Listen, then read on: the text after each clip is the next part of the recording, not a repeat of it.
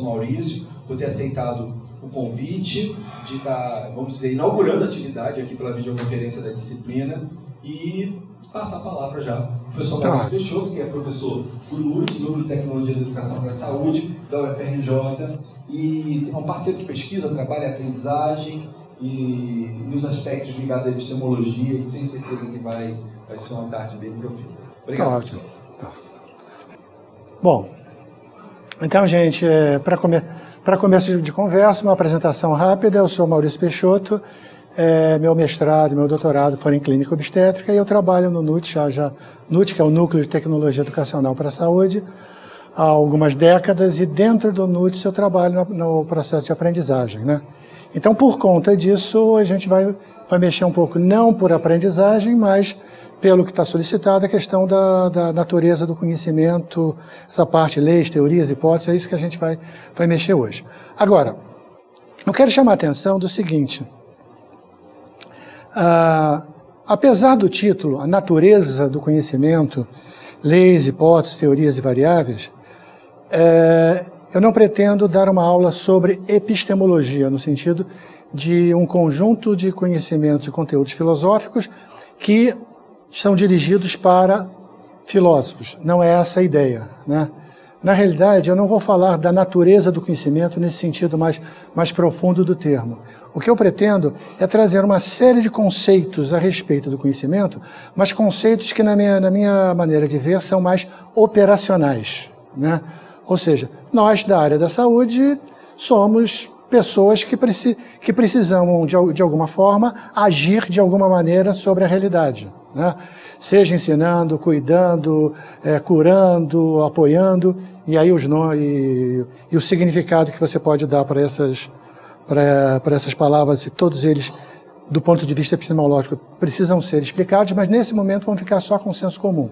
Seja lá o que for, médicos, dentistas, enfermeiros, psicólogos, fonoaudiólogos, terapeutas ocupacionais, todos eles, de alguma forma, precisam lidar com algum tipo de conhecimento e esse conhecimento ele está a serviço de algum tipo de ação.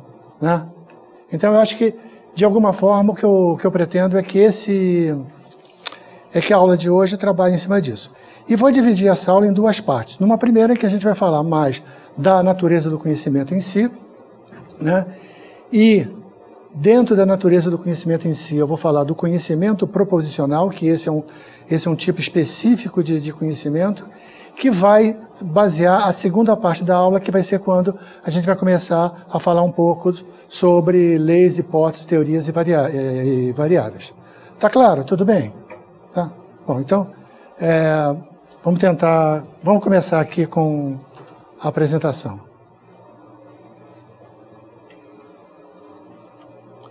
O controle. Ah, tá aqui. Bom, é, como eu falei, essa primeira parte aqui é a parte que nós vamos dedicar um tempo maior para isso. E eu vou trabalhar toda essa segunda parte aqui como consequência das características do conhecimento que a gente, que a gente apresenta. Tá claro? Primeiro ponto, é, sendo operacional. Né? Se a gente, se a gente vai, vai, vai falar do Confúcio, quer dizer, pergunta básica é o seguinte: Querem que vos ensine o modo de chegar à ciência verdadeira? E aqui a gente está falando o quê? Aquilo, aquilo que se sabe, saber que se sabe, aquilo que não se sabe, saber que não se sabe, e este, na realidade, é o saber. Do que, que eu estou falando aqui? Eu estou falando de, seja lá o que for que você considere que seja o conhecimento, seja lá o que for que você entenda que ele seja, existe um aspecto muito importante para você lidar com ele.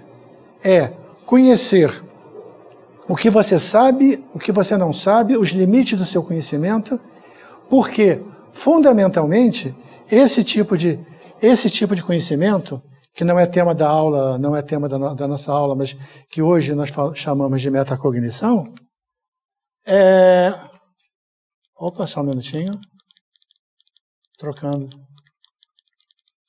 Eu queria só eu queria, é, eu queria falar para vocês de um, de um, de uma definição do Steve Denning, que ele me fala o seguinte: é, o que é o conhecimento?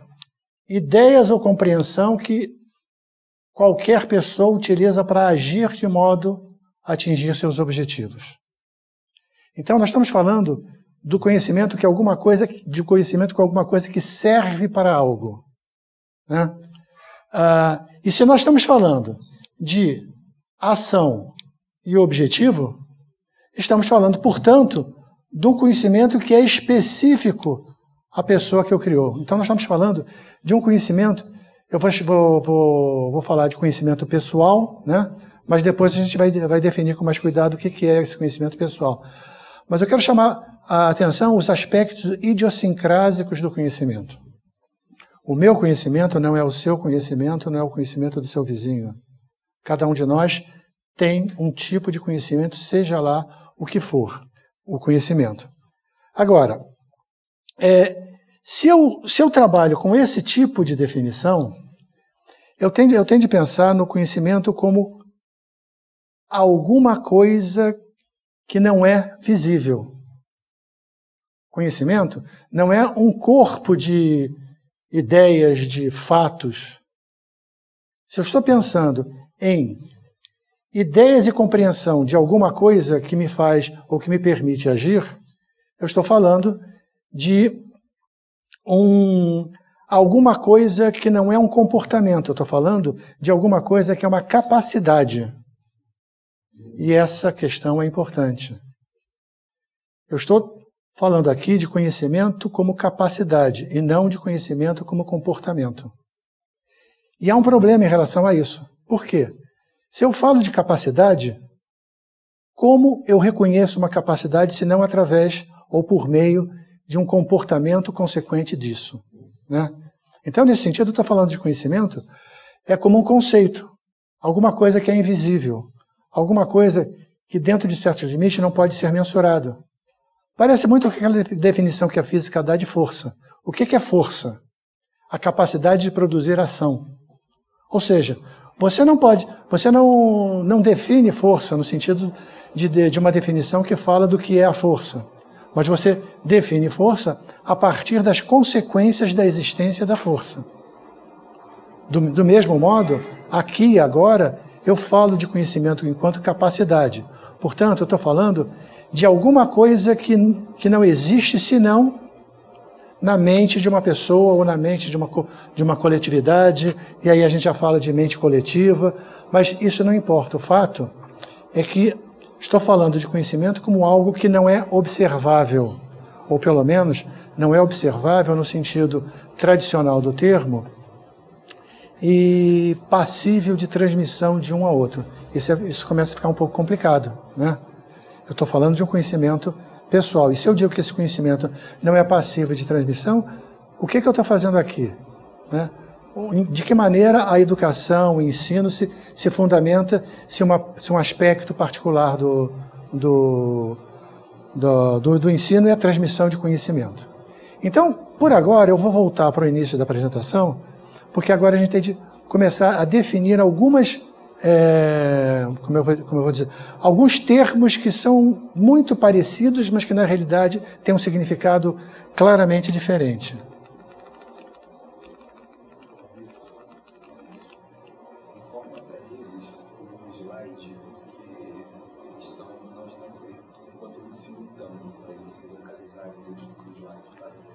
Ah, então é, eu estava, eu estava trabalhando como se essa, como se o que, o que eu estou vendo aqui é o que vocês estão vendo agora. Mas é, você, eu, eu, espero que vocês tenham conseguido localizar aquele primeiro, aquele primeiro slide, né?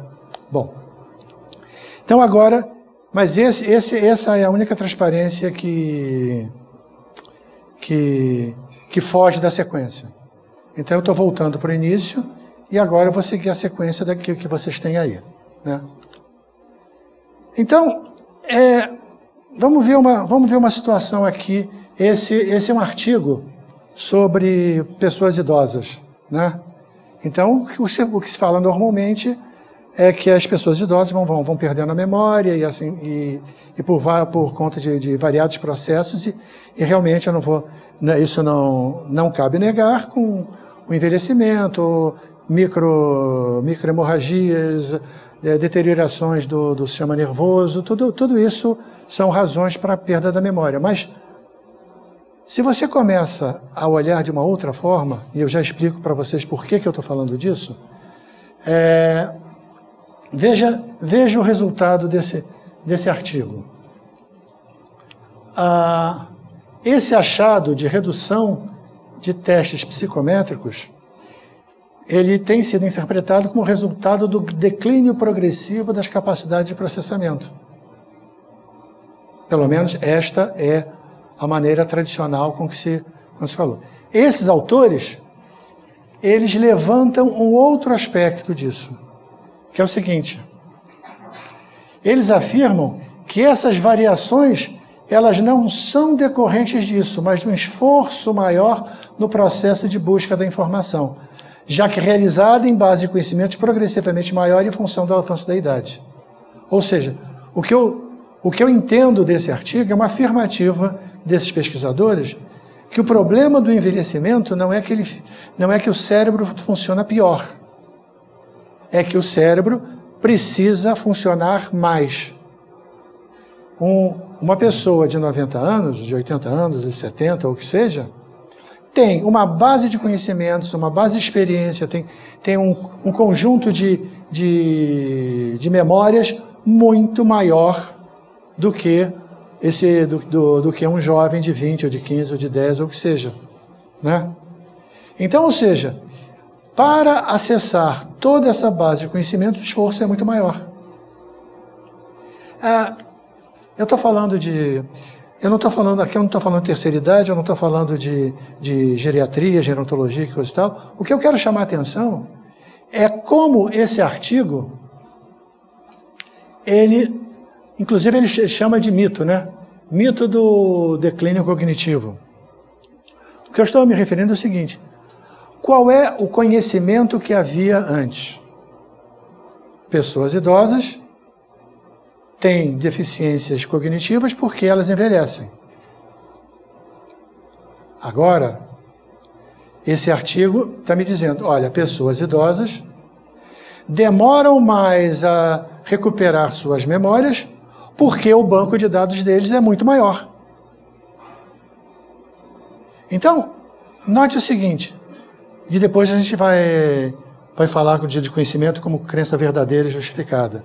Note o seguinte, os testes psicométricos continuam funcionando como sempre funcionaram.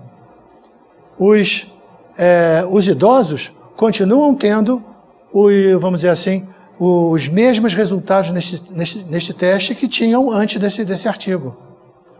A questão não está mais no resultado obtido, e aí, simplificadamente, eu vou dizer: o problema não está mais no fato, o fato se mantém. Os testes são mais demorados. A questão não é o fato, mas a interpretação que se dá a esse fato. Por isso é que eu falei de conhecimento como alguma coisa que você faz, alguma, uma, alguma, alguma capacidade que você tem. Tá claro? Bom, então vamos, vamos prosseguir aqui. Primeira dúvida: informação. O que, que é informação? Bom, é, Alguém consegue entender o que está aqui? É, a, bom, vocês que estão aí em Rondônia, vocês já viram o slide inteiro, né? Então vocês, vocês vão perder a surpresa, né? Então, é, seria melhor que vocês estivessem vendo, mas de qualquer maneira, esse tipo de pergunta eu só posso fazer para quem está aqui presente. Ou seja, vocês, está, vocês estão entendendo essa mensagem? Eu, sinceramente, espero que não, né? Bom, e agora?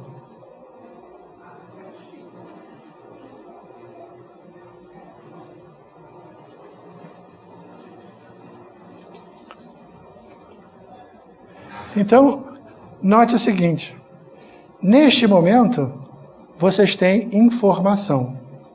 O que, que é informação?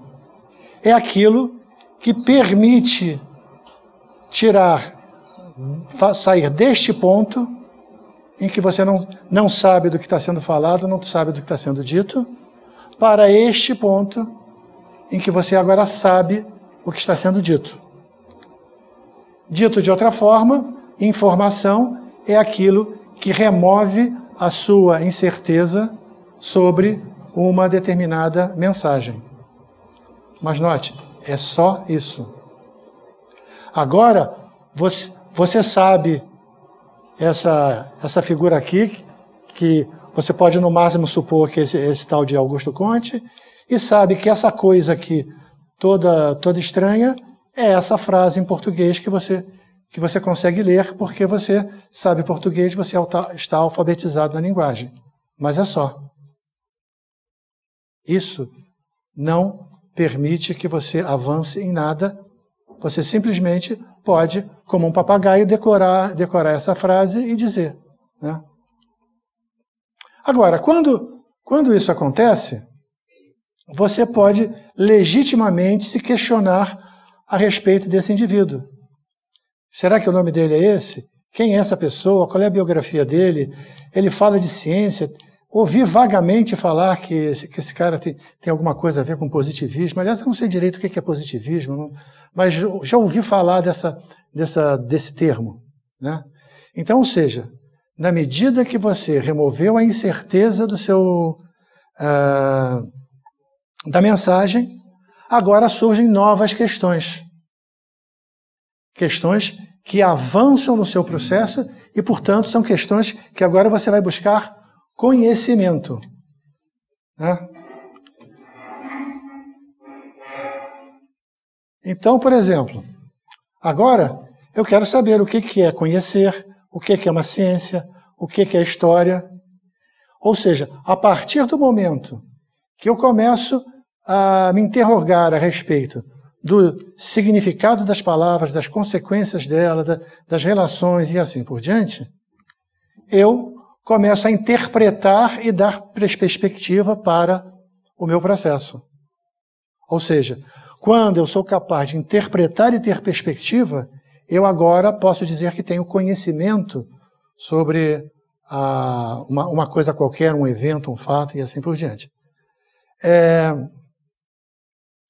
note, isso não é só epistemologia. Eu prometi a vocês que eu, que eu estaria trabalhando de uma forma operacional. É, neste momento, se você, é um, se você é um aprendiz, você já não, já não sabe, em primeiro lugar, diferenciar quando você se debruça sobre um assunto qualquer, se você está no nível da informação ou no nível do conhecimento? Ou seja, aquele momento que você chega e dizia, eu não entendo nada disso, isso para mim é grego. Então, você está naquela fase da informação, você tem de buscar informação. Ah, estou satisfeito, agora eu já sei, do, já, já sei do que eles estão falando. Não. Porque, tendo removido a incerteza, o seu próximo passo é procurar interpretar a, a situação. Você está estudando, você está aprendendo, você está tá buscando o que, que aquelas coisas significam, quais são as relações de, das, das palavras que você agora consegue ler e consegue interpretar e consegue fazer relações com outras coisas. Portanto, você pode, neste momento, obter uma interpretação do processo? Bom, então com isso terminamos uma, terminamos uma, uma definição e note que, essa, e note que quando eu estou faz, fazendo essas definições, eu, mais do que definir, eu estou fornecendo a vocês ferramentas para o seu processo de aprendizado para o seu processo de interação com o mundo. É crucial a diferença entre você possuir informação sobre algo ou possuir conhecimento sobre esse mesmo algo. Só que a coisa não para, não, não, não para por aí. Tem uma outra palavrinha aqui, compreensão. Então você conhece esse assunto? Ah, conheço. Então compreendeu? Aí a gente acaba utilizando essas duas palavras como se fossem sinônimos, mas não são. a grande questão da compreensão, e vamos voltar lá para Confúcio, é que eu sou capaz de discriminar aquilo que eu sei daquilo, daquilo que eu não sei, do, do que eu sei e daquilo que eu não sei. Eu estou capaz de, de mapear o meu conhecimento. Eu sou capaz de determinar aonde, até onde vai o que eu sei e mais do que isso, eu sou capaz de identificar aquilo que eu não sei. E quando eu identifico o que sei e sou capaz de discriminar o que eu sei daquilo que eu não sei, eu, neste momento, primeiro, obviamente, uma grande lição de humildade, né? A gente começa a achar que sabe muito, sabe muito, e, e quando você começa a olhar para o mundo, você vê que tem muito mais coisa a aprender daquilo que você aprendeu, e esse processo de, de aprendizado, de conhecimento, de, de, de desenvolvimento da, de, de você enquanto um, um agente intelectual, um, um pesquisador, isso é um, é um caminho bastante longo, né? Esse é um primeiro ponto. Mas tem um segundo ponto aqui que é o seguinte: ah, se eu consigo mapear o que eu sei e consigo fazer a mesma coisa para aquilo que eu não sei, eu já tenho a possibilidade, no mínimo, de duas coisas. Primeiro, aquilo que eu sei, eu me debruço de uma determinada maneira. Aquilo que eu não sei, eu me debruço de outra maneira. Para as coisas que eu já sei, eu posso pensar em atualização, em correção de detalhes, em saber se, se, se eu sei realmente aquilo. Eu posso fazer uma espécie de auditoria do meu conhecimento. Então, eu vou buscar vários autores para confirmar se, se, de alguma, de, se de alguma forma é, é, o que eu sei corresponde ao que a minha comunidade sabe. É um primeiro ponto. Já aqui, nessa área do que eu não sei, eu já preciso me debruçar, eu volto para aquele primeiro momento. O momento da informação, que passa para o momento do, do conhecimento, a partir da minha compreensão de que determinadas áreas, determinados conteúdos são desconhecidos para mim. Note que quando eu compreendo, eu imediatamente já tenho uma ferramenta para o meu desenvolvimento. E mais do que isso, assim, o segundo aspecto relacionado a isso. Eu sei isto e não sei isto. Mas a pergunta que se faz é: aqui, agora, nesse exato instante, nesse exato momento, eu preciso aprender aquilo que eu não sei? O mero fato de eu desconhecer algo me obriga imediata e automaticamente a buscar o que eu não sei? Não me parece que esse seja o caso. Este é um momento de escolha. Neste momento, com os recursos que eu tenho, com o tempo que eu tenho, eu sou, é, eu posso, eu escolho investir meu tempo, minha emoção, eventualmente meu dinheiro para aprender algo que eu não sei, o que significa que nesse processo de escolha, essa parte que eu não sei, eu vou ter algum, eu preciso ter alguns critérios. Do tipo, é, isso vai ser útil para mim, eu preciso disso, uh, vai ser útil para alguém, é, eu tenho tempo para buscar esse conhecimento, é, eu tenho recursos para fazer isso, o que, que eu preciso? Ou seja, aprender não é uma obrigação, é uma escolha. E nesse sentido, é um, é um conceito que é, muito, que é muito caro para mim, é de definir o aprendizado como um exercício de liberdade. Você, a todo momento, você é livre para decidir, para escolher aprender ou decidir escolher não aprender mas isso só se dá no momento em que você compreende, em que você atinge o nível da compreensão. Por favor, não me entendam mal. Quando eu digo que você é livre para aprender, eu não estou dizendo que você faz o que você bem entende, o que você bem quer a qualquer momento, né? Tem, tem, tem, tá correndo na internet uma frase aí que, que diz que é de um determinado autor, eu já eu já chequei, não é, isso não é verdade. Então, mas a, mas a frase é importante. Que é essa, essa citação diz o seguinte: eu sou livre nas minhas escolhas, mas sou escravo das consequências. Então, ou seja, sim, você escolhe aprender ou deixar de aprender. Você escolhe fazer ou deixar de fazer. Mas tanto fazendo quanto não fazendo, aprendendo ou não aprendendo, as consequências surgirão, diferentes para cada caso, mas sempre haverá algum tipo de consequência. E você não vai poder fugir delas. Então, o que eu quero, o que eu quero, o que eu quero ressaltar aqui é que esse processo de compreensão é um processo de mapeamento, mas é uma ferramenta de escolha, é uma ferramenta para você gerenciar o seu conhecimento, o seu aprendizado.